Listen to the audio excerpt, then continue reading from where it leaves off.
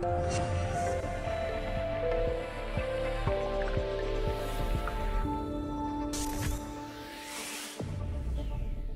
everyone, in this video I'm going to be going over the Leaf Proxies dashboard and showing you how to generate and test your Leaf proxies. First I'll cover the residential proxy dashboard as seen on the screen here, then I'll also go over accessing your data center proxies and any purchased accounts that you have. I'll also go over the Leaf Proxies tester to make sure your proxies are valid and working and have good connection to the sites. Then I'll finish the video off by showing you how to set up for a release using your Leaf proxies and by giving you some resources that might help you out. So with all that being said, let's start right here on the residential proxy dashboard. So to get to the Leaf Proxies dashboard, you could either type in leafproxies.io in your browser, or you can go from leafproxies.com and hit the dashboard button in the top left, and that'll take you to the login screen of the dashboard. So your dashboard credentials should be emailed to you when you first purchase a plan, but if you ever forget your password, you can go to leafproxies.io slash forgot dash password. It's the link on screen or in the browser here, and that should help you with resetting your password. Also, two-factor authentication with your email is going to be required, so make sure you're prepared for that, and you're going to get sent a code in your email that you can just put into the Leaf Proxies dashboard to log in. Now that's also in addition to the two-factor authentication that you can use on your mobile device, which I'll go over later on in the video. For now, let's head to the residential proxy dashboard, which you can get to by going in the top right here and clicking residential proxies. And that'll take you to a screen that looks like this. So first up by this menu, you could either toggle light mode or dark mode, whichever one you prefer, but more importantly, let's talk about your residential data plan. Over here on the left, you can see some information about your data plan, such as the expiry date, and also how much data you've actually used. So residential proxies work in terms of data, so the more that you run them, the more data you use until you hit your data limit. And your data limit here is going to be how much you've purchased. So if you purchase a 2 gigabyte plan, you should see 2 gigabytes here. So your plan will stop working once you hit your data limit, or the maximum amount of data you can use use on your plan or once this timer runs out in the top right here. So up here is an expiration date, so either you run out of data first or you run out of time first, either one and your plan will stop working. Now if you ever need more data, then you could always press the top up button here and you can select the plan that you want to add more data to. Now note these prices are already discounted, so you don't actually have to enter a code to get the best discounted price. And once you top up, then it'll add more data and time to your plan. Also regarding topping up, I want to mention that if you want your data to carry over after the top up, you must top up before your data expires. So if your data expires and then you top up, your old data is not going to be able to carry over. So if you want to carry over that data, make sure you top up before your plan expires. So now let's talk about actually how to generate these proxies. So first we're going to go over here and discuss site gateway versus country gateway. So right now we have it on country gateway, so we'll see a bunch of different countries listed here. Now of course there's also site gateway, which if you want to choose the site instead.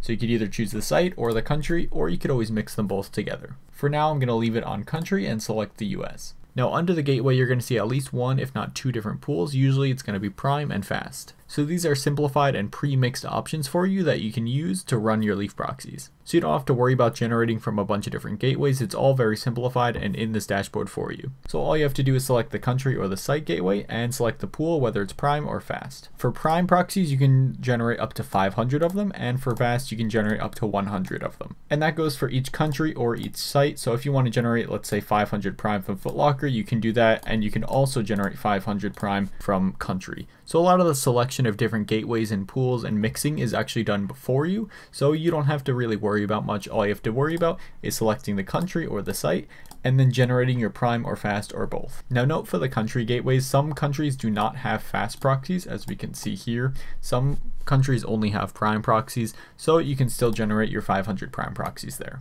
Now note for sites you have different options such as foot sites, Shopify sneakers, Yeezy supply or other. With other you can do things like retail botting and things like that. Later on in the video, I'll go over the Leaf Proxies blog, which will give you a bit of insight and help into which proxies to generate for certain sites. Also keep in mind that these proxies could change over time, so you definitely want to update them from time to time, and you don't want to just stick with the same proxies for drop after drop. You definitely want to come back in here and regenerate your proxies. Since these are already mixed for you, they could change and the mixes could change over time. Now I do also want to mention if you're used to the old Leaf Proxies dashboard, you do not have to worry about IP authentication anymore, so you don't have to worry about that at all these proxies should work fine for you. Alright, so now that we know how to generate some residential proxies, let's actually generate some and use the Leaf Proxies tester to test them out. So for this example, I'm just going to generate some prime proxies for the US. I'll generate, let's say 500 and press generate here. You'll see they'll come up in the bottom here. Now I wouldn't recommend trying to highlight and copy them. It's just easier to press this copy button in the top right and that'll copy it to your clipboard. and then you could paste them into the Leaf Proxies tester or whichever bot you're using. To access the Leaf Proxies proxy tester, you can go to the proxy tester tab in the top, and that'll bring you right to this page where you can download it either for Windows or for Mac. It's completely free and it's a good way to test and validate your proxy. So when you launch the Leaf Proxies tester, you'll see a dashboard here with some different links, and you could also toggle the light or dark mode in the top right. You can also click these four squares here, which will bring up some different links to the Discord, drop info, the dashboard, and also the store. But for now, we're going to go to the tester tab here. So the tester tab here is where you could actually test and validate your proxies. So there's actually a few different things we can do in here. We can bring our proxies in, we could save them to a list, we can test them, and then we could also prune them. So we prune out the slow ones and only keep the fast ones. And we could test them on a bunch of different sites. So first, since we have the proxies copied to our clipboard, let's actually go to import in the bottom left here and paste in our proxies into this box. Then we're going to press import and we see all of our proxies right here. So of course you can go through and test them individually if you want, or we can run a test on all of them. You could also select the target site in the top here, whether it's a certain site or you could just type in a custom site if you want to. So I've selected Yeezy Supply and I've actually gone through and tested a few of them here and they all seem to be working quite well. Now we have a few different options within the tester here with what we want to do. So let's say some of our proxies were slow and we only wanted to keep the fast ones. For this example, let's say any over 600 milliseconds we want to throw out. Although in a real scenario, you'd probably want to prune any higher than 3000 because under 1000 is very quick for residentials. So real life scenario, probably 3000 for first come first serve drops and 5000 for splash page drops. But for this example, I'll just show you how the pruning works by typing in 600 here and clicking anywhere. And any proxies that are over 600 or not tested will get deleted or pruned. So of course that only left us with three because I only tested a few there. So now you see how the pruning works and how you can get the best proxies out of your list. So if I press export in the bottom left here, it'll allow me to save them to a file and it'll also copy them to my clipboard. Now I could also save them in the Leaf Proxies tester by going to the group tab and giving it a name. So I'll type in test and press save and now we have the test group over here. So if I wanted to, I could copy that or I could import them into the tester or I could delete it. So of course, if I press copy, it's going to copy those proxies to my clipboard. Now I will mention one thing is that pruning actually doesn't delete them from the list. It just deletes them from this view and from your group. So if I actually delete the number 600 here and click anywhere, all of our proxies are going to be back. So it won't actually delete them from the list. It'll just show the view that we can use to copy from. In the bottom left here under the proxy setting, we can test all of them. We could import and export, which is pretty self-explanatory. And then we could also clear all of them if we wanted to. Now we have one setting here, which is just how many proxies we want to test at once when we're testing all of them. So if we set this number to 10, which is the default, that means that it's going to test 10 proxies at a time. And with that, that's pretty much the Leaf Proxies tester. That's how you can test and validate your proxies, how you can copy them to your clipboard, and also how you can export them. So now let's head back to the Leaf Proxies dashboard and I'll show you how to get your data center proxies as well as any purchased accounts. So we're back on the dashboard here and let's actually go through a few of the tabs in the top right here. So in terms of our proxies, we have our residential proxies dashboard, which is what we're looking at now. Then we have our usage report. Your usage report will just give you a little bit information about how much data you've used over time. Alright, so next we have the Data Center Proxies tab where you can see your purchased accounts and data center proxies. First, to show any accounts you've purchased, all you have to do is press show and the account should pop up and then you could copy it. You can either copy it directly or just export it and that'll copy it to your clipboard where you can just paste it elsewhere. Now in terms of your data center proxies, you have the same type of process where you can just press show and copy your proxies by pressing export, but you also have an auto renewal option here basically with auto renew you can keep the same set of proxies and just automatically pay for it month after month and you don't have to remember to pay for it or anything like that. So it's automatic and does it all for you. Now you could either have this turned on or off. Right now I have it turned off, but if I wanted to turn it on, I just press where it says auto renew and it would turn it on. Now if I didn't have a valid payment method on my account, it would prompt me to add one and then I would add it and turn on auto renew. Now to turn off auto renew, what you can do is press this button, auto renew, and it'll come up as auto renew, give some information about your plan, and then you can press cancel auto renew here. And that'll turn it off so it won't charge your card any longer. Just keep in mind here that auto renew is toggled off to begin with, and you'll have to toggle it on if you want it to be on. So make sure you do that if you want to keep the same set of IPs month after month. So the settings tab, you have a few different options here. First, you can change your password if you need to. Next, you could update your payment method, which is for those auto renewals as well as for topping up and things like that. You always want to make sure that you have an up-to-date payment method from the settings tab. Next, you could link your Discord account to the Leaf Discord, which is used for support and drop information. And lastly, I definitely recommend enabling your two-factor authentication as it's going to keep things secure.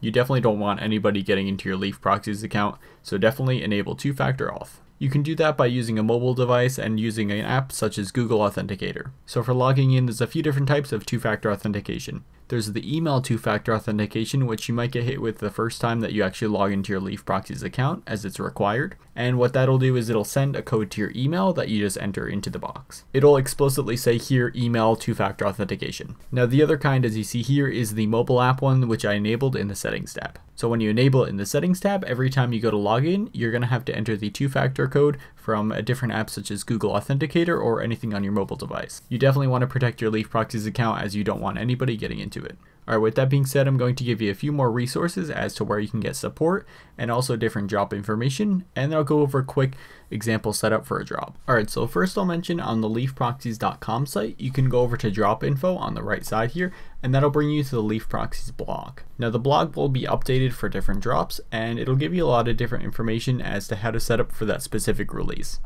So if we click the one for the blue tints that dropped a few days ago, we can see a bunch of different sites and how to set up for those different sites. So for example, one of the main suggestions here is to use 80% prime and 20% fast when generating your proxies. Now of course this could always change over time, so I would definitely keep up to date with the Leaf Proxies blog as you want the most up-to-date information. Then of course there's information about each different site such as Shopify, Footsites, etc. So I definitely recommend checking out the Leaf Proxies blog for all drop info. So now I'll give you a quick rundown on how I generate and test my proxies for the Shopify drop. So we see here it says country and gateway options to use Site Gateway Shopify and Country Gateway All and Country Gateway US. So I'm to go and generate from all those different pools. So back in the Leaf Proxies dashboard, here's how I generate some proxies. Since it said we can use the site and use Shopify, I'll go to site and Shopify and select let's do the prime ones. And I'll just select, you know, 90 or 100. It doesn't really matter, however many you want. I would then bring these into the Leaf Proxies tester, run a couple tests, maybe a test all, and then I could save them and export them if I want to. And then I could do the same for Prime. I can go to country and do the same for US, etc. So it'll definitely take some time to test different gateways and setups and everything like that, but I definitely recommend testing your setups in the Leaf Proxies tester before you bring them into your bot. It's always good to keep an eye on which exact gateways and pools are working well for you so that you can scale that up for the next job. And also information from the Leaf Proxies blog should help with that. So to close out the video, I'll mention a few different things that could help you out when you're generating and testing and running for the different jobs with your Leaf Proxies. First is the FAQ, which if you scroll down on the page, you can see the FAQ, which should answer some specific questions that you might have. If you're still having issues after reading the FAQ, then you could join the Leaf Proxies Discord, which has 24-7 support. You can actually just go into the Discord and open a ticket, and support should be able to help you out. The way that you can actually get into the Discord is by clicking this button in the bottom right here, and you can actually connect to the Discord. There will also be a link in this video description to the Discord that you can join. I also want to mention that it'll definitely take some time and variety in your setup to get the perfect setup. You might not get it right away with the pools and the gateways that you're using, so definitely do some experimentation and testing until you kind of get the right setup. The process has been quite simplified now, so there shouldn't be too much testing of gateways and pools and whatnot, but you still want to take note of what's working best for you and try to scale it up for the future drops. Also keep in mind that the region that you're choosing should be close to the region of the site. So if you're running for US sites, try to use US proxies. If you're running for EU sites, try to use EU proxies, etc. For some sites that could be required as they might lock out any other proxies that are not from that region. So overall, I hope this video helped you out and gave you some clarity on how to generate and test your Leaf proxies, and I wish you good luck with using your Leaf proxies.